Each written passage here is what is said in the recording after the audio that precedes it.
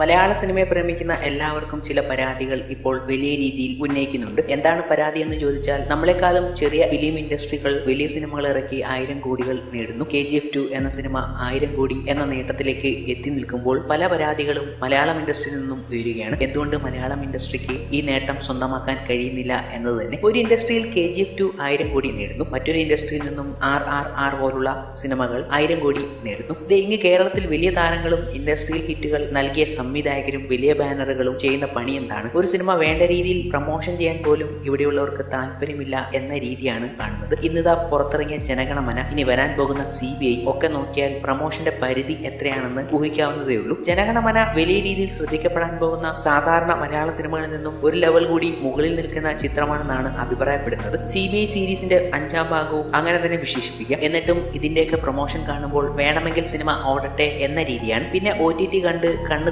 വീണ വീഴ്ചയിൽ നിന്നും പലരും എണ്ണിട്ടിട്ടില്ല എന്നും പറയാം. കാരണം പാൻ ഇന്ത്യൻ തലത്തിൽ ശ്രദ്ധിക്കപ്പെടാൻ പോകുന്ന പല ചിത്രങ്ങളും ഇപ്പോഴും ഒ ടി ടി പ്രീമിയർ റിലീസാണ്. മിന്നൽ മുരളി ട്വൽത്തുമാൻ പുഴു മോൺസ്റ്റർ എലോൺ മരക്കാർ ദൃശ്യം ടു തുടങ്ങി പലതും ഒ ടി ടിയിലേക്ക് ചൂടുമാറി സഞ്ചരിച്ചു. കോവിഡ് കാലത്തിന് ശേഷം റിലീസ് ചെയ്തതിൽ വേണ്ട രീതിയിൽ പ്രമോ ചെയ്ത മൂന്ന് സിനിമകൾ ഒരുപക്ഷെ കുറുപ്പ് ഭീഷ്മപർവം ഹൃദയം ഒക്കെയാണെന്ന് നമുക്ക് വേണമെങ്കിൽ പറയാം. കൂടാതെ ഈ ചിത്രത്തിന്റെ ക്വാളിറ്റിയും അത്രയ്ക്ക് ബെറ്റർ ആയിരുന്നു. അതുകൊണ്ട് തന്നെ തിയേറ്ററിൽ നിന്നും മികച്ച റെസ്പോൺസും ലഭിച്ചു. ബാക്കിയുള്ളതിന്റെ അവസ്ഥയൊക്കെ പറയേണ്ടതില്ലല്ലോ പിന്നെ തിയേറ്ററിലേക്ക് വരുന്ന ബിഗ് ബജറ്റ് സിനിമകളൊക്കെ ആ ലെവൽ കീപ്പ് ചെയ്യുന്നില്ല എന്നതും എടുത്തു പറയാം. കീപ്പ് ചെയ്യും എന്ന് വിചാരിക്കുന്ന പടങ്ങളൊക്കെ ഒ ടി ടിയിലേക്കും തള്ളിവിടുന്നു പാൻ ഇന്ത്യൻ എന്ന് പറഞ്ഞു വരുന്ന ജനഗണമന എന്ന ചിത്രത്തിന്റെ അവസ്ഥ അതിന്റെ പ്രൊമോഷൻ ഒക്കെ വളരെ ലോ ആണെന്ന് പറയാൻ കഴിയും. എന്നാൽ ആ ലെവലിൽ ശ്രദ്ധിക്കപ്പെടുന്ന സിനിമയാണെന്നാണ് എല്ലാവരും അവകാശവാദങ്ങൾ ഉന്നയിച്ചത്. പല വമ്പൻ ചിത്രങ്ങളുടെ ബുക്കിംഗ് കണ്ടാൽ പോലും വളരെ ശോകമായി തോന്നും എന്നതും കൂടി എടുത്തു പറയേണ്ടതാണ്. ഈ പാൻ ഇന്ത്യൻ ലെവൽ എന്നൊക്കെ പറഞ്ഞിട്ട് ബുക്കിംഗ് വരുമ്പോൾ വളരെ ലോ ലെവലാണ് പ്രൊമോഷൻ കുറഞ്ഞു പോയത് തന്നെയായിരിക്കാം ഇതിന്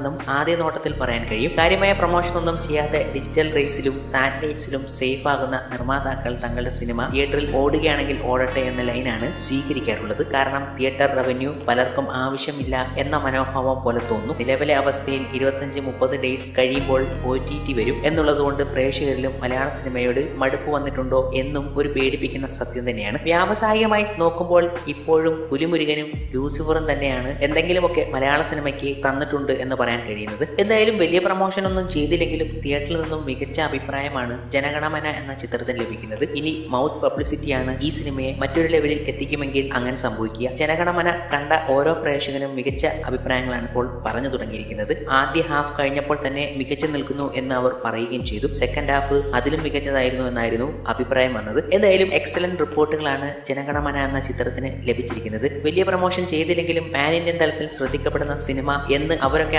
അവകാശപ്പെട്ടു എങ്കിലും ചിത്രത്തിന് മികച്ച അഭിപ്രായങ്ങൾ ലഭിക്കുന്നുണ്ട്. പക്ഷേ വളരെ ലോ ലെവലിലുള്ള ബുക്കിംഗ് ആണ് ചിത്രത്തിന് രേഖപ്പെടുത്തിയത്. ചിത്രത്തിന്റെ ട്വിസ്റ്റ് ഒക്കെ അതിഗംഭീരമായിരുന്നു എന്നാണ് റിപ്പോർട്ടുകൾ. പൃഥ്വിരാജ് കിടിലൻ പെർഫോമൻസ് ആയിരുന്നു. ഫസ്റ്റ് ഹാഫിനേക്കാൾ ഇരട്ടി ഇമ്പാക്റ്റ് ആണ് സെക്കൻഡ് ഹാഫ് നൽകിയതെന്നും പ്രേക്ഷകർ പറഞ്ഞു കഴിഞ്ഞു. അതിതീവ്രമായ മേക്കിംഗും എക്സിക്യൂഷനും നിർവഹിച്ച അസാധാരണമായ ഒരു സിനിമയാണ് ജനഗണമന എന്നാണ് റിപ്പോർട്ടുകൾ. സെക്കൻഡ് പാർട്ട് തീയാണെന്നും ആരാധകർ ഉറപ്പിച്ചു പറഞ്ഞു. ഡിജോ ജോസ് ആന്റണി എന്ന സംവിധായകൻ മികച്ച ഒരു മേക്കിംഗ് ആണ് ചിത്രത്തിലൂടെ നമുക്ക് നൽകിയിരിക്കുന്നത്. മികച്ച സ്ക്രിപ്റ്റ് ആണ് ഇതിന്റെ എല്ലാം മുതൽക്കൂട്ട്. ജനഗണമന തിയേറ്റർ എക്സ്പീരിയൻസ് മികച്ചതായിരുന്നുവെന്നും ആദ്യം കണ്ട ഓരോ പ്രേക്ഷകരും പറയുകയാണ്. ഇന്ത്യ മഹാരാജ്യം ഒരു രാഷ്ട്രീയക്കാരന്റെയോ അവന്റെ തന്തയുടെയോ വകയല്ല. ഇത് നമ്മുടെ രാജ്യമാണ് എന്ന ഒരു ബോൾനെസ് പറഞ്ഞു വെക്കുന്നുണ്ട് ജനഗണമന എന്ന ചിത്രം. കൂടാതെ വരാൻ പോകുന്ന ചിത്രത്തിന്റെ സെക്കൻഡ് പാർട്ട് ഇതിലും മികച്ചതായിരിക്കുമെന്ന് ആദ്യ ജനഗണമന കണ്ടവരുടെ പ്രതികരണങ്ങൾ എത്തുന്നുണ്ട്. എന്തായാലും ചിത്രം വേണ്ട രീതിയിൽ മികച്ച മൗത്ത് പബ്ലിസിറ്റി കിട്ടുമെന്ന് ഉറപ്പായി കഴിഞ്ഞു. ചിത്രത്തിന് വേണ്ട രീതിയിൽ പ്രമോഷൻ ചെയ്തിരുന്നുവെങ്കിൽ ഇതിൽ കൂടുതൽ ഇമ്പാക്റ്റ് തിയേറ്ററിൽ ആദ്യ ദിനം ഉണ്ടാക്കാൻ കഴിയും എന്നാണ്